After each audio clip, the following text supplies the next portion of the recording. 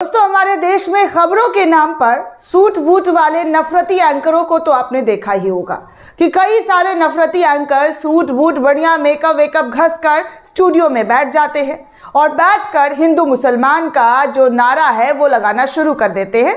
In fact नारा नहीं इसे आप कह सकते डिबेट नारा ही हुआ क्योंकि एक कौम को इतना बदनाम करने की कोशिश की जा रही है। इतनी शिद्दत से ये लोग कोशिश कर रहे हैं कि पूरी कायनात भी मिलकर इनके पापों को नहीं धुल सकती है दोस्तों। क्योंकि इनका पाप इस कदर बड़ा हो चुका है कि अब सुप्रीम कोर्ट भी इनके पापों पर फटकार लगाते हुए नज़र आ रहे हैं। और सरकार से पूछ रहे हैं कि नफरती चैनलों पर आपने ताला लगाया कि नहीं लगाया? जो नफरती डिबेट हो रहा है, उस पर कोई रोकथाम की कि नहीं की? अब इस पूरे मामले पर सोशल मीडिया पर ज़बरदस्त तरीके की प्रतिक्रिया आ रही है तो सोचा आपको भी वो प्रतिक्रिया से रूबरू कराऊं कि कैसे जो है, इन नफरती चैनल वालों का जो एजेंडा है, उसको लेकर सुप्रीम कोर्ट किस तरीके से फट पड़ा? और केंद्र सरकार से पूछने लगे कि आखिर भैया इस पर लगाम कब लगेगा और आपने कितने नफरती चैनलों को बंद किया है? इस तरीके से जो नफरत परोसते रहते हैं, इन पर कोई एक्शन लिया भी या नहीं लिया? अब इस पूरे मामले को लेकर कैसे लोग लिख रहे हैं, बोल रहे हैं, वो ज़रा आपको एक एक एक करके ट्वीट में दिखाती हूँ दोस्तों कि क्या चल रहा है हमारे देश में। एक तरफ़ तो ठंड है कड़ाके की, लेकिन दूसरी तरफ़ सुप्रीम कोर्ट के डंडा चलने से कैसे लोगों के बीच खुशी नज़र आ रही है, जो शांति प्रिय इंसान है, जो न्याय पसंद इंसान है, वो खुश हो रहे हैं और सुप्रीम कोर्ट के इस टिप्पणी का स्वागत कर रहे हैं। हालाँकि मैं यहाँ पर बड़े ही एहतराम के साथ ये कहना चाहूँगी कि माननीय सुप्रीम कोर्ट को जो है, टिप्पणी देने से अच्छा है कि कोई सख्त कार्रवाई करे ताकि इनको जो है, लगाम लगाया जा सके। बहुत ज़्यादा हो गया है। जी हाँ बहुत ज़्यादा हो गया है। हद से ज़्यादा ये लोग नफरत फैला रहे हैं। नफरत फैलाने की इंतहा जो है, इन्होंने पार कर दी है। अगर नफरत का कोई अवार्ड होता तो इन लोगों की झोली में भर भर कर दी जाती। ऐसे तो best anchor best news producer debate के नाम पर इनको मिल जाता है अवार्ड सरकारी अवार्ड मिल जाता है। लेकिन नफरत का को, अगर कोई अवार्ड होता तो इन लोगों को ज़रूर मिलता, क्योंकि इन लोगों ने नफरत और हिंदू मुसलमान करने के लिए कोई कसर नहीं छोड़ा। हर वो सीमा लांग चुके हैं। अब देखिए सुप्रीम कोर्ट क्या लिखता है। सुप्रीम कोर्ट ने हेट स्पीच पर कहा कि टीवी चैनल से आपत्तिजनक एंकरों को हटाया जाए। सीधे तौर पर सुप्रीम कोर्ट कह रहा है कि आपत्तिजनक जो एंकर है टीवी चैनल पर नफरती, उनको हटाकर बाहर फेंका जाए। क्या किया जा रहा है हमारे देश में? नफरती एंकरों को सूट बूट पहनाकर बिठा दिया गया है और आप लगे पड़े हैं नफरत फैलाने के लिए। तो ये सुप्रीम कोर्ट जो है खुद टिप्पणी दे रहा है, बयान दे रहा है कि इस तरीके की चीज़ों को हटाया जाना चाहिए। अब इस पूरे मामले को लेकर गोविंद प्रताप सिंह जीपीएस जो है, वो ट्वीट करते हुए लिख रहे हैं कि सुप्रीम कोर्ट ने हिट स्पीच को लेकर क्या कहा।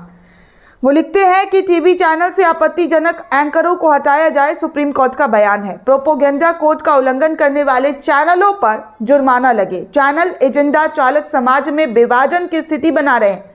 हालाँकि मुझे पूरी उम्मीद है कि ये ऐसी की बात भी मानने वाले नहीं हैं। ये उम्मीद जता रहे हैं। ज़ाहिर सी बात है, ये सही जता रहे हैं क्योंकि इन लोगों के नफरत पर इससे पहले भी सुप्रीम कोर्ट की तीखी टिप्पणी आई है, क्या इन लोगों ने लगाम लगाया? नहीं लगाया भाई। इन लोगों की लगाम नहीं लगी है। ये लोग बेलगाम घोड़े की तरह दौड़ रहे हैं और इस दौड़ में बहुत आगे निकल चुके हैं। और इनकी नफरत की जो दुकान है, वो इस कदर सच चुकी है कि हर रोज किसी अनिश राज्य को अनिश मोहम्मद बताकर, जिहादी बताकर चलाया जाता है खबर यहाँ तक लेवल पहुँच चुका है।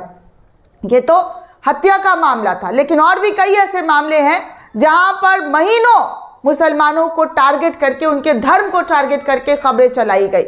अब देखिए, अभिनव पांडे हैं, ललन टॉप के पत्रकार, वो लिख रहे हैं कि आपत्तिजनक एंकरों को हटा दिया जाना चाहिए, उन चैनलों पर भारी जुर्माना लगाया जाना चाहिए, जो प्रोपेगंडा कोड का उल्लंघन कर रहे हैं। चैनल एजेंट से प्रेरित है, समाज में विभाजन पैदा करते हैं। सुप्रीम कोर्ट ने हेट स्पीच पर सुनवाई करते हुए टीवी चैनल्स पर अब तक की सबसे कठोर टिप्पणी की है। अब तक की सबसे कठोर टिप्पणी है, दोस्तों। तो इस तरीके से जो है, इन्होंने लिखा है। आगे देखिए, स्वाति मिश्रा जो है, ये ट्वीट करते हुए लिख रही है कि सुप्रीम कोर्ट ने दिल्ली पुलिस से पूछा कि सुरेश चौहान की अगुवाई वाली हिंदू युवा वाहनी के हेट स्पीच केस में एफआईआर करने में पाँच महीने क्यों लग गए? इस सवाल का जवाब इस बात में छुपा है कि दिल्ली पुलिस किसे रिपोर्ट करती है? इन्होंने सीधे कह दिया, दिल्ली पुलिस किसे रिपोर्ट करती है? आपको भी पता है कि किसे रिपोर्ट किया जाता है। पंकज झा एबीपी के एबीपी न्यूज़ के पत्रकार हैं। वो लिख रहे हैं कि सुप्रीम कोर्ट ने कहा हेट स्पीच बड़ा खतरा है। ऐसा करने वाले न्यूज़ एंकरों के खिलाफ कार्रवाई करने में एनएसबीडी ब्रॉडकास्टिंग अथॉरिटी नाकामयाब रही है और न्यूज़ चैनल कई बार चीज़ों को सनसनीखेज बनाते हैं और हमें भारत में लोकतंत्र और संतुलित प्रेस की ज़रूरत है। अब क्या किया जाए? इन लोगों को समझ में नहीं आता। इन लोगों ने सुना तो ज़रूर होगा जो नफ़रत परोसते हैं, लेकिन वो अपने आप को नफरती के कैटेगरी में नहीं रख रहे होंगे। देश हित की कैटेगरी में रख रहे होंगे कि देश हित के लिए काम कर रहे हैं देश हित के लिए हिंदू मुसलमान करवा रहे हैं, जिससे दंगा भड़के फसाद हो, यही ये लोग करते आते हैं। आगे ब्रिज द्विवेदी ये भी पत्रकार है, दैनिक भास्कर के लाइव लॉ के पत्रकार हैं ये। पहले जो है ये लिख रहे हैं कि दिल्ली में धर्म, संसद में हेट स्पीच के मामले पर सुप्रीम कोर्ट ने दिल्ली पुलिस से पूछा, एफआईआर दर्ज होने के आठ महीने बाद भी जाँच कहाँ तक पहुँची? मामले में कितने लोगों को गिरफ़्तार किया? कोर्ट ने दिल्ली पुलिस को दो सप्ताह के अंदर हलफनामा दाखिल करने को भी कहा है। ये बातें इन्होंने लिखी है। आगे एक और ट्वीट है, वो देखिए। मिलन शर्मा आज तक की पत्रकार हैं। वो लिख रही हैं कि सुप्रीम कोर्ट ने कहा, देश में टीवी चैनल समाज में लोगों को बांट रहे हैं। टीवी एंकर खुद इस समस्या का हिस्सा है। और तो और, चैनल अभिव्यक्ति की आज़ादी का हवाला देते हैं तो इसका सम्मान भी करें। जो एंकर अपने प्रोग्राम में हेट स्पीच को बढ़ावा देते हैं, उन पर जुर्माना लगे, उन्हें ऑफ़ एयर करना ज़रूरी हो गया है। उन्हें बंद करना ज़रूरी हो गया, उनके शो को बंद करना जो है, अब सबसे पहली प्रायोरिटी है। साद, सादाब सिद्दीकी लिखते हैं कि आपत्तिजनक एंकरों को हटा दिया जाना चाहिए। उन चैनलों पर भारी जुर्माना लगाया जाना चाहिए जो प्रोग्राम कोड का उल्लंघन कर रहे हैं। चैनल एजेंट से प्रेरित है। समाज में विभाजन पैदा करते हैं। सुप्रीम कोर्ट ने हेट स्पीच पर सुनवाई करते हुए ये कठोर, अब तक का जो सबसे कठोर टिप्पणी है, वो किया है दोस्तों। इससे पहले उन्होंने किया है, लेकिन इस टिप्पणी को सबसे कठोर टिप्पणी की कैटेगरी में रखा जा रहा है कि सुप्रीम कोर्ट ने इस पूरे मामले पर कठोरता से टिप्पणी की है। मिग्नेंद्र प्रताप सिंह लिखते हैं कि सुप्रीम कोर्ट ने कहा, देश में टीवी चैनल समाज में लोगों को बांट रहे टीवी एंकर खुद इस समस्या का हिस्सा हैं। चैनल अभिव्यक्ति की आज़ादी का हवाला देते हैं तो इसका सम्मान भी करें। आप अभिव्यक्ति का हवाला तो देते हैं, लेकिन सम्मान नहीं कर रहे हैं। जो एंकर अपने प्रोग्राम में हेट स्पीच को बढ़ावा देते हैं, उन पर जुर्माना लेके उन्हें ऑफ़ एयर करना ज़रूरी हो चुका है। आगे भूपेंद्र यादव लिखते हैं, ट्वीट करते हुए, चैनल एजेंडा से प्रेरित है, समाज में विभाजन पैदा करते हैं, सुप्रीम कोर्ट ने हेट स्पीच पर वही वाली जो सुप्रीम कोर्ट की जो टिप्पणी है, उसी को लेकर ट्वीट कर रहे हैं। आगे, शुभांकर भानु, वो लिख रहे हैं, सुप्रीम कोर्ट ने कहा, हेट स्पीच पर सुनवाई करते हुए, नफरत फैलाने वाले न्यूज़ एंकरों से प्रोग्राम को उन्हें हटाना चाहिए और उल्लंघन को, करने वाले कोर्ट को न्यूज़ चैनल पर जुर्माना लगाना चाहिए। तो ये चीज़ें हैं। कि जुर्माना लगाने की जो है बात की जा रही है और नफरती एंकरों को जो शो है, उनके शो को बंद कर देना चाहिए। रामचंद्र लिखते हैं कि सुप्रीम कोर्ट हेट स्पीच मामले में सख्त हुआ। प्रसन्नता की बात है, लेकिन कोर्ट ने तीन लोगों को, अनुराग ठाकुर, कपिल मिश्रा और दिल्ली के पूर्व मुख्यमंत्री के पुत्र के खिलाफ एक एफआईआर दर्ज करने को कहा था। उस जज को रातों रात ट्रांसफ़र कर दिया गया, पर उसके आदेश का पालन आज तक नहीं किया गया। तो ये भी है एक मामला, एक मुद्दा। बीबीसी ने भी इस पूरे खबर को अच्छे से छापा है। लिखा है कि टीवी चैनलों और हिट स्पीच पर सुप्रीम कोर्ट ने किस तरीके से अपनी बात रखी और क्या कुछ कहा है, वो भी मैं थोड़ा सा आपको डिटेल में बता दूँ कि किस तरीके से जो है सुप्रीम कोर्ट ने अपनी बातें रखी है और इस पूरे मामले को लेकर जो है चर्चा चल रही है।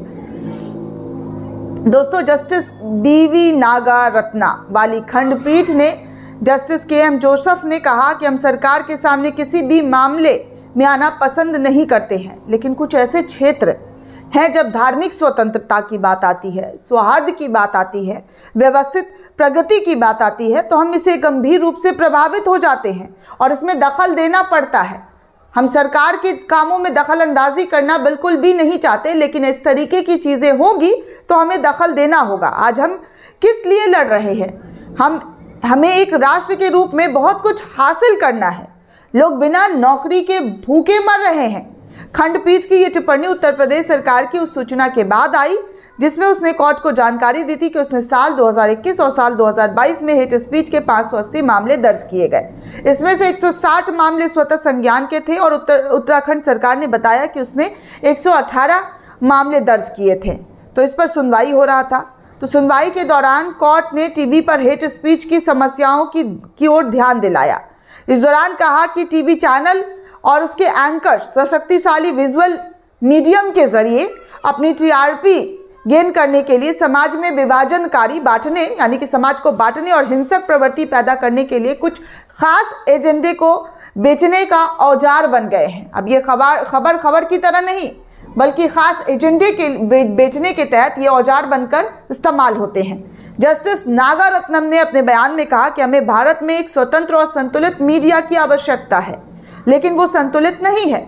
हमें टीवी मिले, दशकों हो गए, लेकिन आपने सरकार टीवी के लिए कुछ काम नहीं मतलब उन्होंने सरकार से पूछा कि आपने टीवी के लिए कुछ कभी नहीं सोचा, और इसी वजह से आज सभी के लिए वो मुफ़्त बन गया है। कोर्ट ने यह भी कहा कि बढ़ती नफरत या टीवी पर पूर्वाग्रह के खिलाफ संदेश देने के लिए किसी एंकर को आपने ऑफ़ एयर करने का फैसला लिया है या नहीं लिया है?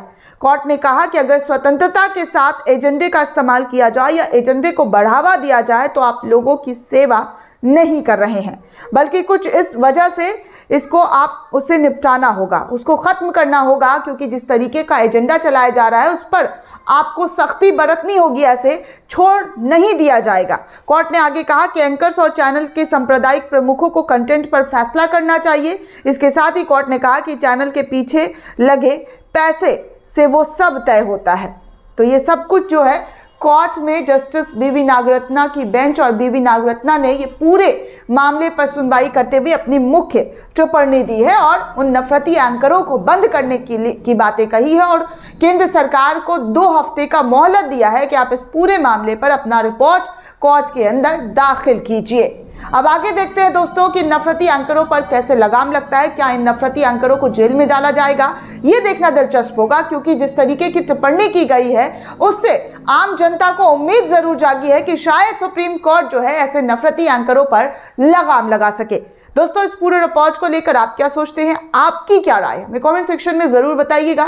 साथ ही साथ, अगर आपने चैनल को सब्सक्राइब नहीं किया है तो जल्दी से सब्सक्राइब कीजिए चैनल को ज्वाइन कीजिए, ताकि हर अहम जानकारी और हमारी आज़ाद पत्रकारिता को इससे सपोर्ट मिलता रहे। धन्यवाद।